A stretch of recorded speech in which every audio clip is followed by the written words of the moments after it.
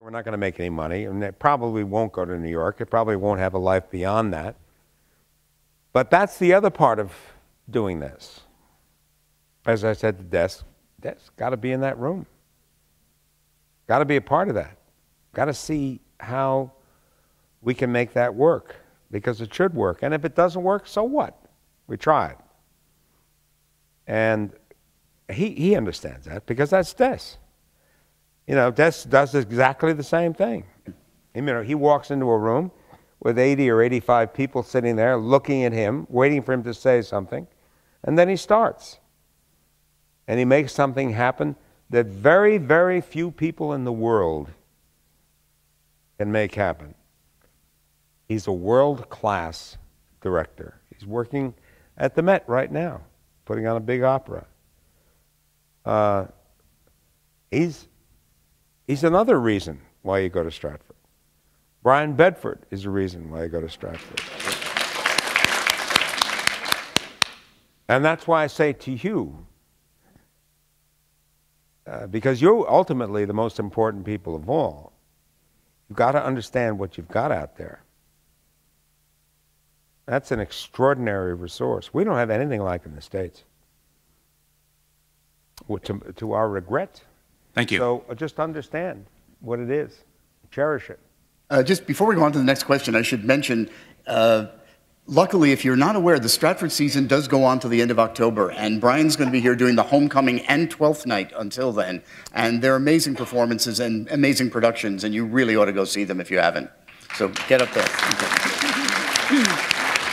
Next question. Yeah, I had the privilege of seeing Homecoming. Am I, can you hear me? Yep. Yeah. And it was thrilling. It was really a spectacular ensemble performance. I agree. All the actors were amazing. Yeah, they are. The thing, I think uh, we were definitely invited to discuss, to think about, to argue about what the play meant, uh, what we got out of it, and that's great theater. Uh, one of the things we could not one of the many things we couldn't agree on or were curious about. Maybe you can explain it. Uh, when Pinter wrote the play, he did he cast the woman. Uh, I guess it was his wife at the time, Vivien, Vivien Merchant. Merchant. Yeah. yeah, but this director chose to cast the woman as a black woman, mm. and it it seemed to us or to me that it added, not maybe added, even detracted or confused uh, some of the issues there. Uh, and I wondered what, how you felt about that. Well, I think, first of all, he, he cast the right actress. Uh, Cara Ricketts is an amazing, amazing actress. And Jeez. yeah, wasn't as I that, said, though? as I said before, uh, the genius of Des, uh, in, in that particular choice, fitted in so beautifully with the genius of Harold Pinter.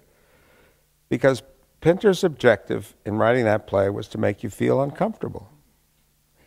So if, if her race in that particular situation, the fact that she suddenly, even though she's a black woman, never referred to, of course, it never is, is in any way in the play referred to, but as a black woman, considering the, the, uh, the uh, pain and the difficulty and the, and the huge years, centuries of oppression that black people uh, have, have suffered, uh, uh, if that put a, a, particular twist on that character, good. What's wrong with that? The whole thing was, the whole play is supposed to be, what, what's fascinating about, in the context of what you've just said, is that there's only one person standing at the end of the play and that's Ruth. Ruth yeah. is the boss.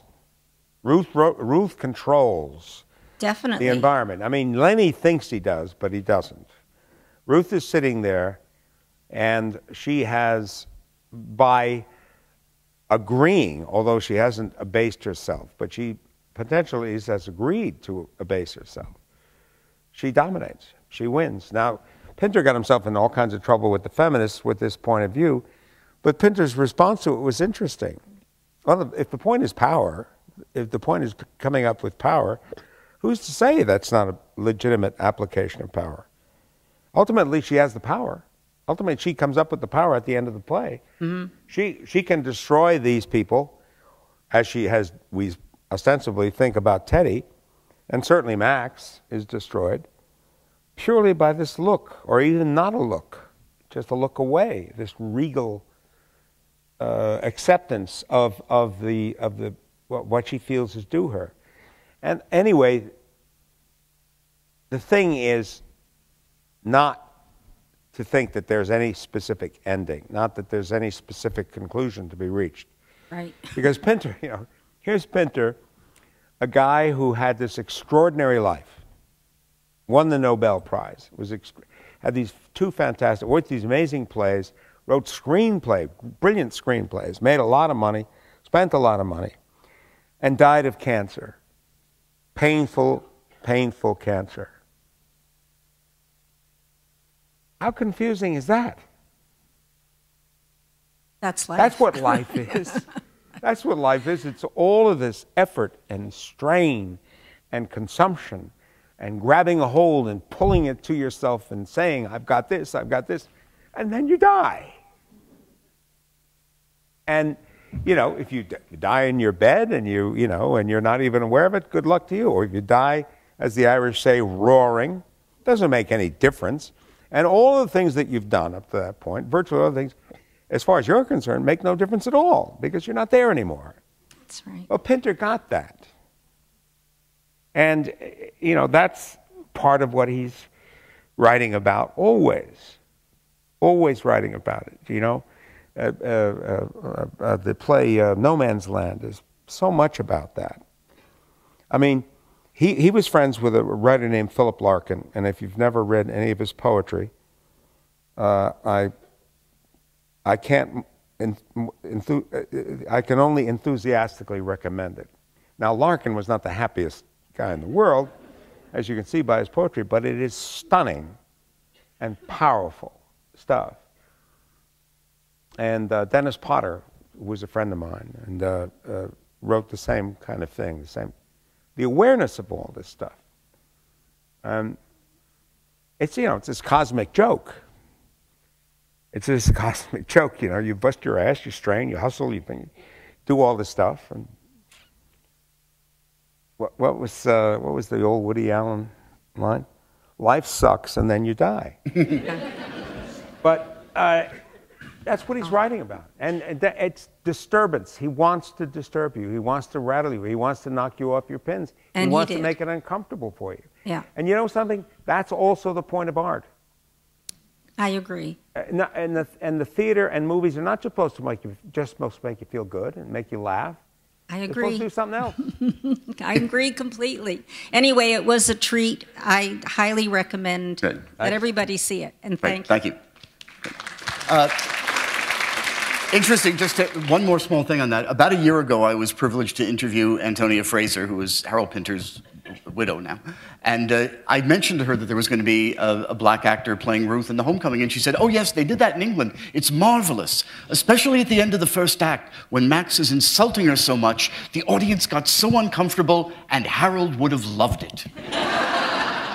Which is exactly what you said before. So it's fascinating. that Well, Billi- you know, Billington, Michael Billington, who's a famous British critic and also uh, not only the biographer, a wonderful biography of, of Pinter, but also a very close friend of Pinter's, was here before we actually did the show, and myself and Jennifer had dinner with him, and he was fascinated to meet Jennifer because, as far as Billington was concerned, he knew of no other woman who had ever directed uh, Ma- Homecoming. And he was fascinated by her take on it, which is somewhat different from his and mine, frankly. but Anyway, we have about time for one more question, so thank you. Actually, Well, we that could was do the my two- the three question. people that are standing Okay, I okay, was we'll do them quickly. Okay. To ask you what, it, uh, if you would talk a little bit about working with Jennifer Tarver, please. Well, Jennifer is a pain in the ass. Um, no, she's uh, she and I uh, are very very close friends. We fight constantly, um, and she's constantly moaning about my intransigence, and I'm constantly moaning about hers. She is, and this is the most important thing about Jennifer. She's the most honest person I have ever met. And for a director, that is the most important quality. What does it mean? What does it really mean? How how do we get to this truth? If this is the truth, how do we get there? I mean, when I was doing uh, Krapp's last tape, and I would do something, and the audience, you know, there might be some designers, there might be some technicians or ADs in the rehearsal room, would laugh. And Jennifer would look at me unsmilingly and say, That's funny. That's funny. She meant it, but she was looking at it as a surgeon.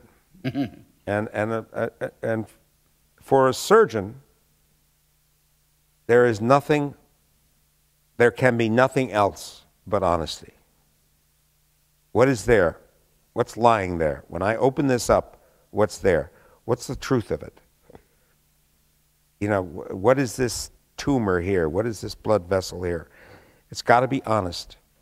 It has to be honest. And to have someone directing, especially an actor like myself who's flying off in all different directions constantly, to have a director, a woman 40, 41, 42 years old, brilliant, smart as hell, who has done an enormous amount of work on this particular, more than I have when we get into the room, to honestly react to something and say, this is right, this is true, this is real, this is not. Um, you know, you can't have a more valuable partner than that. Thank so you. she and I are very close, and we will be. I mean, there are times when we get frustrated with each other, no question about it, but that's the way it should be. Thank you. Great. Next. Hi. I uh, started to take away from the theater. Uh, I just uh, I saw a movie 15, 20 years ago where you played uh, the big bully of a town. Yeah, based on a real story. Yeah. Performances of yours. That must have been fun, twirling your mustache. that was a real guy, mm-hmm. uh, and uh, he was shot. He was shot. It was an interesting philosophical problem, actually. At the end of that, it was a small town in, in Missouri, where they had this guy pl- uh, uh, essentially terrorizing the town, and because they were such a small town, there were no police services. So even though he was constantly in trouble with the state police, they couldn't do anything about him because nobody would, everybody was too afraid to bring him to justice. So one day they killed him. Yeah. And everybody killed him. And the, the, the philosophical question at the end of it was well, what is justice? What is, what is a police activity? When does, the, when, does, when does justice become a group of so-called, you know, law-abiding citizens saying, we can't get anybody to protect us. We're going to have to protect ourselves, which is essentially what a police service is, right? You hire somebody to protect you. You know, there is a philosophical, an interesting philosophical discussion to be had there. Yeah, it's now, I'm not going to suggest that we had it in terms of this TV movie, but I remember we had a lot of it talking about the, the producers and the uh, and the directors and, and so forth. But he w- he was killed, and, and uh, they desperately tried to get some people indicted in the town, but they could not do so because nobody in the town would testify against them. It's interesting you bring that up. The, we had an incident four or five years ago in Alberta where four RCMP officers were killed, and same situation where this man, everybody was scared of him. Yeah. And he got away with it? No, he got killed in the incident. yeah. thank you. Thank you. And uh, our last question. Hi, Mr. Dennehy. I just want to thank you for taking one of your really rare nights off to travel this way and be here with us. Um, well, I was here for the shindig for Chris last night. So. About 14 years ago, I had the pleasure of being in a remotely forgettable, forgettable uh, miniseries called Tom Clancy's Net Force that you were also in, and I had the pleasure of meeting you in the uh, makeup room. And uh, as um, an actress who got her start in America, I feel very strongly about the union because it was the only way I would have had health insurance. And in this day and age, there seems to be a very different attitude towards unions. And I find that my friends in the theater, uh, and on film and TV in Canada and in the UK seem to have a very different attitude towards the union because they don't depend upon it for their health insurance. Mm. And I'm just curious what your opinion might be about well, the unions uh, at this point. I mean, they're always unions can always be frustrating, but at the same time, I'm getting a pension from my union, which I hope I will continue to receive. So uh, uh, I've been in unions ever since I was a kid. Uh, the the thing about unions is, you know, w- w- the problem the problem that's going on in the states now. For example, in California, you have a situation where somehow a California teacher uh, can teach for 25 or 30 years, say, wind up making 85 or 90 thousand dollars a year, and then go on pension and make 115 or 120 thousand dollars a year in pension. And there is some questions as to the appropriateness of this. Um, so that, uh, you know, it, it, I certainly have benefited from being in the Screen Actors Guild and the Actors Equity. But there are some excesses that are happening, especially in situations where you have unions working very, very closely with state governments, usually state or county governments. Uh, so I'm not prepared to uh, to judge on that. I mean, obviously, we're we're in such trouble in the states now in terms of the money that we owe that, um, um, uh, you know, we all better start learning how to speak Mandarin here pretty short. but anyway, thank you. Brian. Just and, and, of course, the problem is I've got kids and grandchildren, and we're just passing, we're just shoveling all this crap onto them. And I'm very aware of that these days. Yeah. One last thing before we go. Is there one part, one project, one something you haven't done you want to do? Well, of course, the big one that, uh, you know, is still in my head that perhaps and Jennifer and I keep flirting around with it is Lear. Only because it's, uh, only because, primarily because it's the one you got to do. You know, you got to try to. And, uh, you know, I saw uh, Chris do his magnificent one a couple of years ago, and Bedford, and I remember Paul Scofield's, and you know, you can't really avoid it. So we probably will do it someplace and see how that all works. I mean, as long as there is an O'Neill part to do, I'll be pretty happy about that. But uh, I'm running out of those. so I, I, you know, I suppose one of these days she and I will take on Lear, um, if I live long enough. Brian, thank you for everything. I don't even buy uh, pants and shirts anymore. I buy socks and underwear. I got enough pants and shirts and suits to last me, no problem. Thank you.